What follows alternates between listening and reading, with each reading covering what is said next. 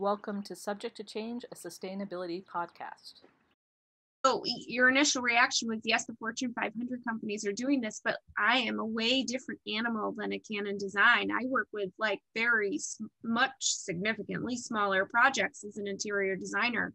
I work with a number of people where sustainability, even nuts and bolts sustainability, is just not even on their radar. So how do we get what's what's my what's what's my pull point? What's my strategy? Five strategies. You don't have one strategy, you'd have at least five. Clearly. That's the that's the trick of it. No, I mean, I mean, first and foremost, you'd have to explain to them that whether they whether they want to acknowledge this or not, this is reality and it's happening and it's already affecting them. We'll do a um, a resiliency. I call it a dashboard because I don't know what else to call it, but we'll do like a resiliency analysis mm-hmm. for that specific location.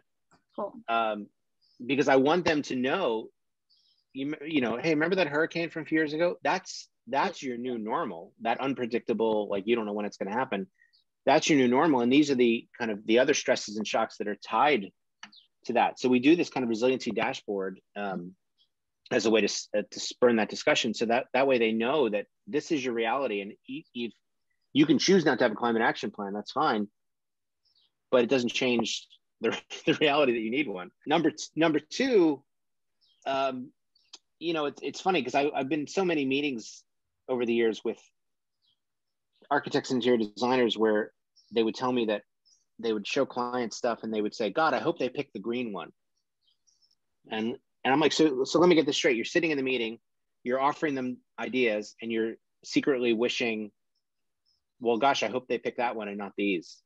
And they're like, yes. I'm like, okay, then why are you even offering the non-green right. ones? Yeah. Why aren't you only offering the stuff that you you want to pick? That, that doesn't make sense to me. Well, because I think we're supposed to okay, well, then why don't you actually have the conversation?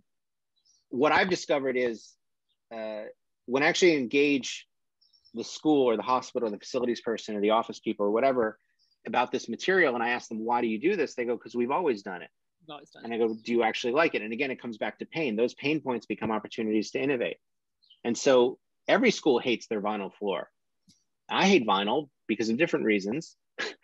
So if you hate it and I hate it, why are we even offering it? Let's find alternatives. Well, it's too expensive. Well, is it? Is it? Because because your blood pressure is going up just talking about it, and your maintenance people have to take care of it, and it looks like uh, poo, and on and on and on. This is uh, number three is then redefining cost. Mm-hmm. To me, I'm just done having these conversations where, you know, we're doing, we're doing this now. We're working at, we're working on several cancer facilities, and and uh, on all of them, I basically pitched the same idea of like, hey, can we agree not to put cancer causing chemicals in the cancer exactly. Yeah. Thank you very much. Light bulb. And, yeah, exactly. And they're like, oh, that's a that's a good idea. I'm like, great. But for one of them, and I won't say which one, uh, the the client, and uh, you know, with the best of intention, right, said, what what do you think? What do you think it's going to cost us to not have mm-hmm. these kind of traditional chemicals, these cancer causing chemicals in the building? and we did a very quick analysis and it was like um, it was like uh, i think it was $26000 mm-hmm. and he's like wow $26000 he's complaining about $26000 in the same breath that he's complaining about $26000 he literally turns in his chair somebody else and says hey where are we with the $26 million parking garage that we're building next door? Is that done yet? That kind of thing. And it's like that's that to me shows it's never been about the money yeah right, right. You're complaining about $26,000 to not have introduced cancer causing, you know, chemicals in the building, but we're subsidizing free parking for everybody to the tune of 26 million. At that point, it's not about the money as much as it is priorities. And so that means that I fail to sell the priority of not putting cancer causing chemicals in the building. And I guess GM or whomever has really, really sold them on, yeah, you got to provide free parking for everybody. Number four, uh, is really then reframing every single argument.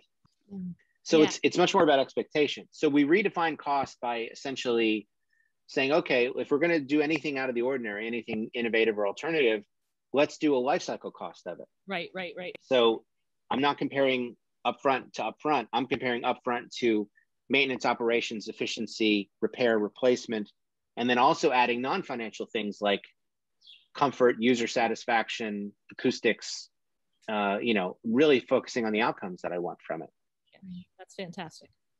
That's great. So that's what you need to do. I mean, you got to you got to redefine cost. It's you know, a large part of being a sustainability person today is reframing the argument.